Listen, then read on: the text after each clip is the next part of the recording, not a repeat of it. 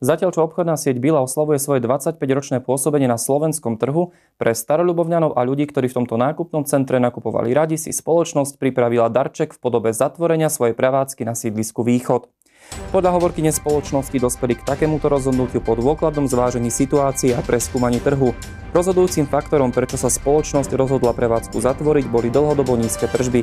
Obchodný reťazec poskytuje aktuálne vo svojej predajni v Starej Ľubovni prácu 19 zamestnancom, ktorým spoločnosť poskytla aj náhradné zamestnanie vo svojich ďalších prevádzkach. Či ponuku zamestnanci príjmu je otázne. Najbližšie k Starej Ľubovni sa nachádzajú supermarkety v Kešmarku či Bardejove a to môže byť pre niektorých ekonomicky nevýhodné. Prevádzka Billy bude v meste poslednýkrát otvorená 5. januára 2019. Čo bude s budovou po tomto termíne, nechcela spoločnosť zatiaľ konkretizovať.